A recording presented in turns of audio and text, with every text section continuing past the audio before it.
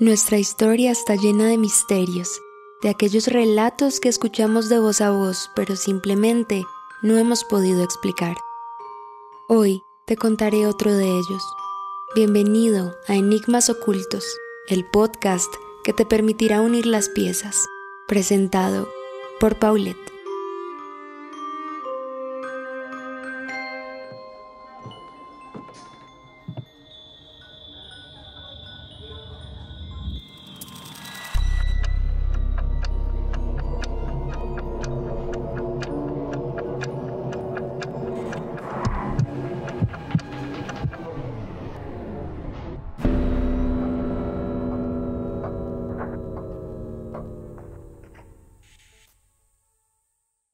La mujer fuerte y dominante que con embriagada belleza conduce a los hombres, víctimas débiles ante sus perversiones, hacia el desastre y el infierno. La historia de la mujer dentro de los entornos culturales, sociales y políticos se ha visto permeada por la visión reduccionista del hombre. El patriarcado se ha encargado de tomar la figura femenina y opacarla porque esas capacidades femeninas, la astucia, la fuerza y la resiliencia que contiene la imagen de una mujer, supone por sí misma una insurrección. Y no es para menos. Años de represión por parte de la figura masculina dan como resultado mujeres capaces de cuestionarse la realidad y la historia que las habitan. Por supuesto, de reconocer también todo lo que son capaces de hacer desde que Pandora abrió la caja, Lilith se negó a yacer bajo Adán y Eva, desafió a Dios probando el fruto del árbol de la ciencia, la imagen de la mujer pecadora y culpable de aborcar el desastre a toda la humanidad, ha sido un tema recurrente en el arte. La imagen de la mujer pecadora, el personaje fatal de la literatura, la supuesta culpable de los males del hombre, esa ha sido la concepción histórica del género femenino, pues según las determinaciones masculinas, aquellas mujeres que defienden su posición frente al hombre reclama sus derechos frente a la sociedad y se desliga de un modelo que la reduce a cumplir tareas de un contrato social que nunca firmaron, esas mujeres son consideradas demonios embaucadores y sexualizados. Y no es para menos, pues a través de una serie de artimañas que involucran más que intelecto, uso de su físico y capacidad de seducción, logran muy entre comillas ocupar espacios que no les corresponden. Esta muestra de reducción de poder femenino es resultado de que la figura patriarcal no es capaz de reconocer las capacidades femeninas, esas mismas que han sido invisibilizadas, camufladas e incluso robadas sin crédito por parte de los hombres.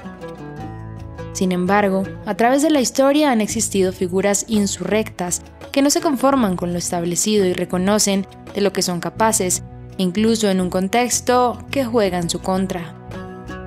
Hablar de esto procuraría un episodio completo, pues las pioneras del movimiento feminista han contribuido a la destrucción de un imaginario social de género, y desde los diferentes campos y momentos históricos hicieron temblar lo establecido para ellas mismas, reescribir la historia femenina.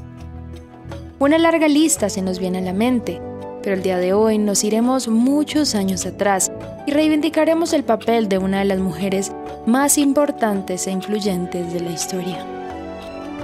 De ella se ha dicho mucho, pero al mismo tiempo no se ha concluido nada.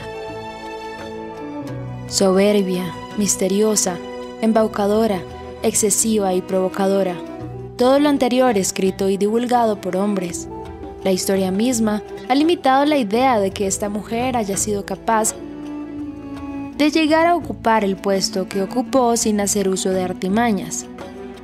Dudan que su inteligencia superaba la de muchos y que su ingenio la llevó a ocupar el rango más alto en el antiguo Egipto.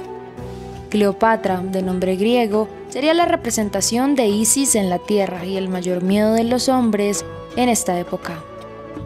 Y, cómo no, era una mujer supremamente inteligente, diplomática, comandante naval, lingüista y escritora de tratados médicos. Descendiente de Ptolomeo I Soter y la última emperatriz del Imperio Romano. Aunque en la actualidad una mujer pueda desarrollarse sin problemas en todos los ámbitos académicos que pretendía explorar, la verdad es que las mujeres egipcias gozaban de una igualdad parcialmente dicha en comparación con las mujeres del imperio griego y romano. Eres la dueña de la tierra. Tú has dado poder a las mujeres igual al de los hombres. Esta declaración de la mismísima diosa Isis le otorgaba un lugar en la sociedad, aunque en el ámbito político seguían siendo rezagadas. Sin embargo, la llegada de Cleopatra al trono marcó un antes y un después, no solo porque según las antiguas escrituras era sumamente bella, sino porque poseía una inteligencia inigualable y una habilidad para la oratoria que en esa época se le atribuía únicamente a los hombres. Desde temprana edad, se veía a sí misma como una persona poderosa, razón por la cual, cuando tuvo que casarse con su hermano para continuar con su linaje, conservar el trono, utilizó esa elocuencia que parecía haber nacido con ella y le mostró a los oficiales egipcios que ella era capaz de tomar el trono sin corregente masculino. Entonces, los documentos oficiales egipcios comenzaron a incluir a Cleopatra como única gobernante, evidencia de que había rechazado a su hermano Ptolomeo XIII. La gente comentaba que probablemente se había casado con él, de acuerdo con la costumbre, pero no hay constancia de ello. Una relación de esta naturaleza trae más problemas que beneficios y en este caso así fue. Poco tiempo después de la unión nació una disputa civil entre Ptolomeo III y Cleopatra, dando como resultado una posible derrota de la mujer y su destierro a Alejandría. Sin embargo, la llegada a su ciudad natal no significó la derrota, sino el inicio de su gobierno. Estando allí, organizó un encuentro con Julio César para formar una alianza que diera como resultado la derrota de su hermano, pero ese acontecimiento tardaría unos años, pues poco salió como ellos esperaban. En su lugar, Cleopatra y Julio César estaban recluidos en el castillo de Alejandría, amedrentados por el ejército de Ptolomeo XIII. La lucha fue larga y en la mayor parte de ella Cleopatra no se presentó. Uno porque confiaba en la resolución de Julio César y dos, porque según la creencia popular, estaba esperando un hijo con él. Tal como Cleopatra lo imaginó, Julio César logró establecer una resolución para que ella volviera a tomar el mando de Egipto, en esa ocasión con su hermano Ptolomeo XIV como esposo y corregente, pues su antecesor había muerto en un intento de fuga.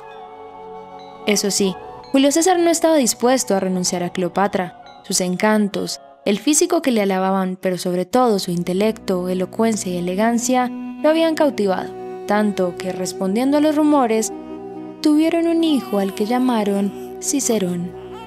El amorío entre el cónsul y la emperatriz se mantuvo durante mucho tiempo, a la par que Cleopatra conservaba su matrimonio con su hermano 10 años menor, y César su casamiento. No obstante, César no se sentía orgulloso de su relación con Cleopatra, al contrario, cuando supo que ésta tenía un hijo, hizo todo lo posible para ocultarlo, pues con su esposa no había podido gestar un heredero. Esto le molestaba a Cleopatra, quien en repetidas ocasiones viajó de Egipto a Roma con la intención de que César reconociera a su hijo y otorgara su lugar como heredero, algo que nunca pasó. Cuando César murió, dejó por escrito que Octavio, su sobrino, sería el único heredero. Con esta sentencia, Cleopatra volvió a Egipto sin saber que el heredero de su primer amorío le costaría el trono, un amor y la vida. Ya en Egipto tomó las riendas, envenenó a su hermano e instauró como corregente a su hijo. Pasó algún tiempo cuando Octavio empezó a gobernar el imperio romano.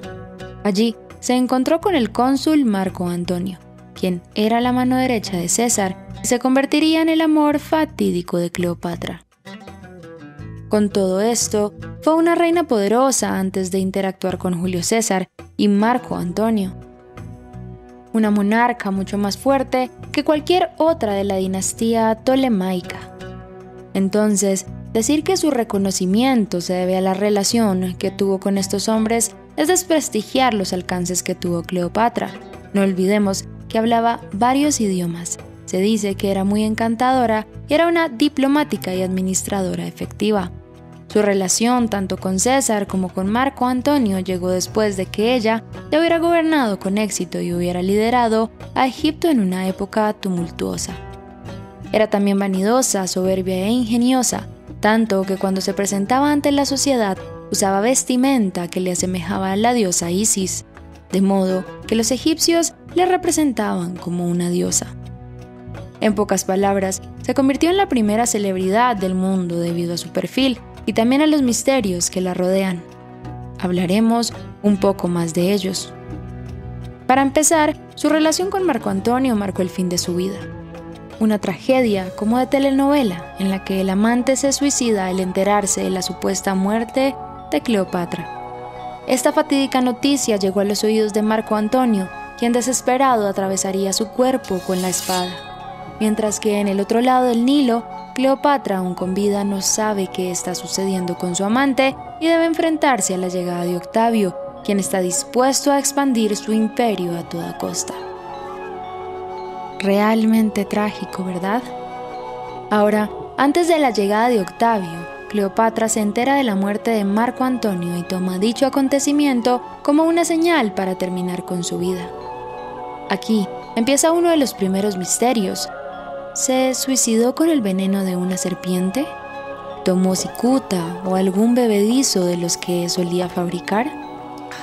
Las versiones afirman que ella desalojó sus aposentos y ordenó que se le trajera una serpiente aspid, cuyo veneno es lo suficientemente mortal como para terminar con la vida de quien entre en contacto con él. Sin embargo, se pone en duda que esto haya sucedido porque se desconoce el modus operandi y la precisión del veneno.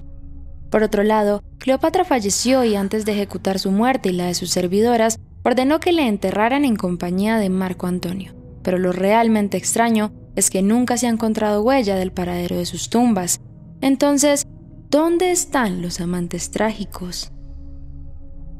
Se han realizado miles de excavaciones con el fin de determinar el paradero de los amantes y no se ha tenido suerte. De hecho, el mayor acercamiento al paradero de la tumba fue cuando exploraron Alejandría y aún así tampoco tuvieron respuesta. De esta enigmática mujer, de la que desconocemos su apariencia física, pues ningún retrato de la época parece hacerle justicia, concluimos que, sin saber su paradero actual, la imagen de la diosa faraónica permanece en la actualidad como un icono global. No conocemos cómo se veía físicamente, pero incluso desde esa invisibilidad podemos deducir que aunque fuera una mujer vanidosa, seguía priorizando la permanencia cultural y la oda a la inteligencia, y esa es realmente la marca que dejó sobre la tierra. Acabas de escuchar Enigmas Ocultos, el podcast que te permitirá unir las piezas. Espero que con él hayas dilucidado un poco más de nuestra historia y también que te hayan surgido preguntas que esperamos responder en un próximo episodio. Gracias por escucharnos y nos vemos cada viernes.